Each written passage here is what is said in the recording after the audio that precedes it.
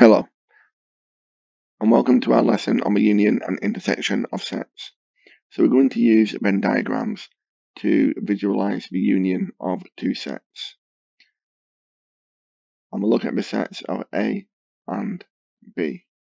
And the union is the area contained within the two sets, or within the two circles.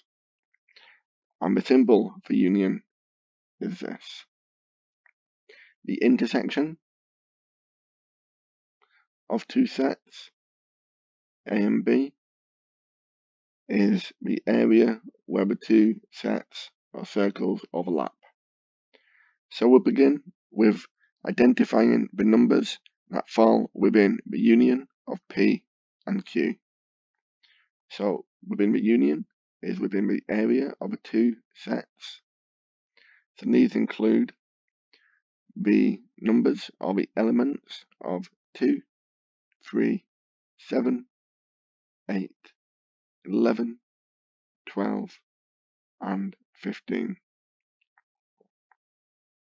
The intersection of P and Q, well, this is where the two sets overlap, and this identifies the elements 3 and 12. This symbol here means not. So this is not the union of P and Q. This is the union. So the outside area is not the union. And this identifies the elements of 1, 10, and 16. And we have not P intersecting with Q. Well, this is where P does intersect with Q. So everything else is where P does not intersect with Q.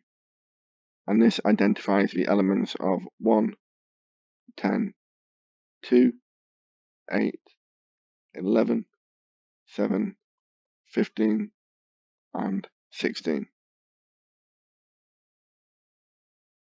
And for our next question, we're going to match the diagram with the correct set notation.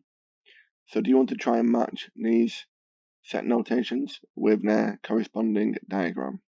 You can pause the video and resume it when you're ready.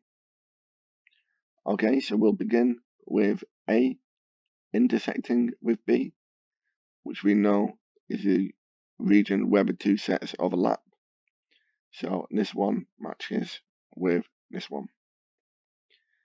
And if we know this is true, then not A and B is the opposite area outside of the intersection. So this one would match with this one. And then next, we know A in union with B is the area of the two circles in total. So this one matches with this one.